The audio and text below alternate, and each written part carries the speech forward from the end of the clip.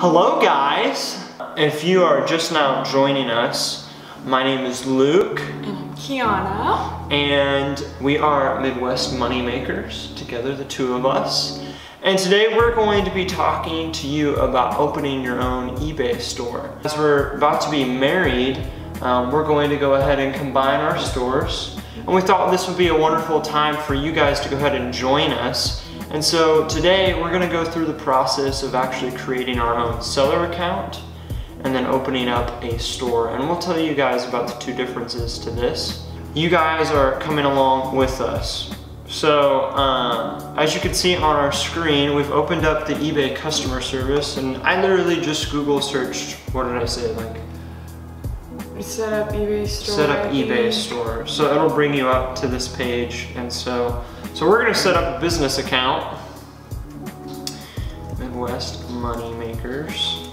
Guys, this is pretty self-explanatory. Um, obviously, you put in your business name. Ours is gonna be Midwest Moneymakers. Hopefully it's not taken. Um, and then we're gonna input our email and a password where our business location is. And then clearly, if you are selling, you would not checkmark this because this says, I only want to buy on eBay. I don't want to sell. And we're gonna sell. Okay, so if you just made your account, looks like they're gonna verify your email. So go to your email address, find that code, put it in. Easy enough. yes. Gonna verify it. Username is optional. Do we want to put one in, babe?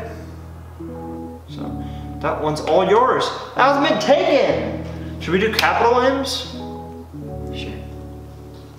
If it'll let us. I don't, I don't even know it if it'll show up different. Because it, yeah, I think your username's always lowercase. Mm -hmm. We'll see. Either way, I think it makes it look a little more professional. Uh, yes, my business is a legal entity. You know, I manage my business as a sole proprietor owner, which we do. We're not affiliated to anybody. This is really interesting because the last time I set up an account, it was just my personal. I never set it up as a business, so this is interesting. This is all brand new.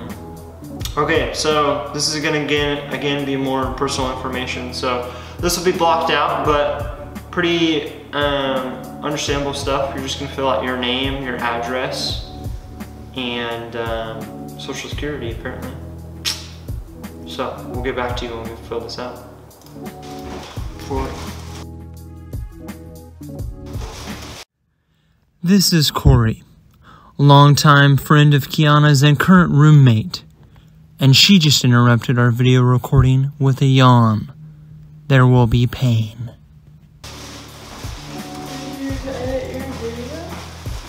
Filming right now.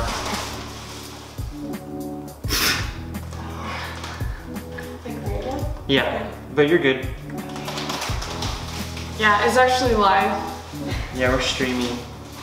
Okay guys, so I think once you fill out that information, you have your seller account set up, and then it's gonna ask for your phone number. Oh no, she's gonna yawn. It's gonna ask for your phone number and send you a verification code, which we went ahead and put in.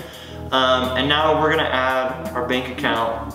Okay guys, so we finished our bank account info and now we are in the review and confirm. Well, yeah, you first, I first should mention, so eBay's gonna ask for your like you can search for your bank, but a lot of them, if they're local entities, they're not gonna show up, so they're gonna ask for your routing number and your account number. And uh, the way that they're gonna verify that is by actually putting in a couple micro deposits and that will basically link your banking account to your eBay account. And the reason why they do this is so that they use that information to process your payouts and also uh, pay for shipping. Well, no. No. You just do that through your payouts. But regardless, you're gonna have to put in your, your banking information and then they verify it with micro deposits. So now, if you've done all that, it's gonna ask for all this information and then you're in a review and confirm page at this point. It's, that was pretty easy. Mm-hmm. It took us, what, what's on there right now? 17 minutes, maybe 15 minutes. Minus our interruptions. Five minutes. You know who you are. now we've created our account. So if you have just a seller account, I believe if this was the way that it was when I first made one. I don't remember if it's the same, but from my recollection, you should have 50 free listings just as a seller account um, or a business account. But what you can do on top of that, which we're gonna do right now, And that's 50 free listings per month. good good point, yeah, per month. Um, beyond that, they start charging you 35 cents a listing. Yeah, it was 35 cents a listing beyond that. So uh, you can do that. I would honestly recommend doing that to start off. Use those 50 free listings, see how it goes. Sell things that are around your house, see if it works for you. Um, and if you start to like it, if you want to do more, looking to start doing a store subscription, which is what we're gonna go ahead and do right now. So we're gonna select a store subscription and I, I believe this is also just gonna be linked to your banking account. So um, this is gonna, go ahead. Your your payouts. Yeah, So it'll charge you either monthly or yearly depending on the subscription yeah. So it looks like a starter gives you 250 monthly listings, both as fixed price inserts. And what that means is buy it now listings versus free auctions. Um, and I guess this is specific towards collectibles and fashion. Um, I'm not sure what that means, but um, yeah.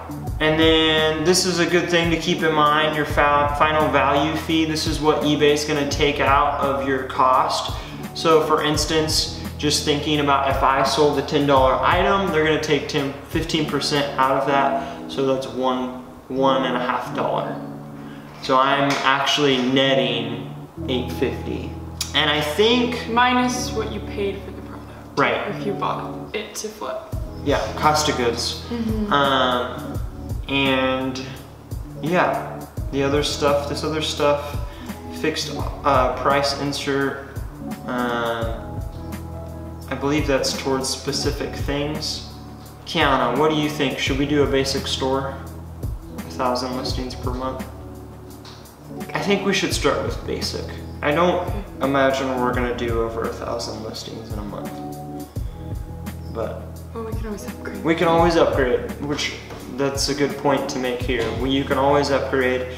Because we're gonna do this for a long time, we're gonna go ahead and do a yearly subscription. It just makes most sense for us. Enter your store name.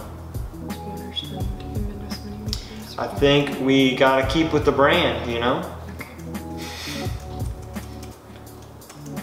There we go. We made a store! We made a store. You have successfully subscribed to a basic store. You'll receive an email confirming your subscription shortly. Your yearly subscription begins today and will be renewed on May 1st, 2023. Your current active listings will appear in your new eBay store. So I don't know what this is, but let's click it. Set up eBay store. Um, add a banner. So I guess we could add a, a billboard. We could take a nice little picture and a logo, which we'll get on those things, but for now we don't really need them. I guess here's what we'll say pertaining to the video. Click the link in the description and go check out our store! Yeah, right after we get done with this, we're actually gonna go film. I'm gonna have Kiana do this. She's gonna talk you through listing your first item. you got it. It'll be easy. But yeah, we'll show you how to list something and uh, it'll be great. And you guys can, we're, we're gonna get to show you just like tracking a couple of the items that we even just sourced yesterday. Um, but uh, yeah, most of this other stuff, I might do another video if you guys are interested. Um, hit the like button if you are, and leave a comment down below. Otherwise, I'm just gonna do this on my own time. and um, yeah, I hope this helped you guys. And um, if it did, consider subscribing. If you want to keep building your store, Yeah. Watch our videos. Have a great day. Deuces!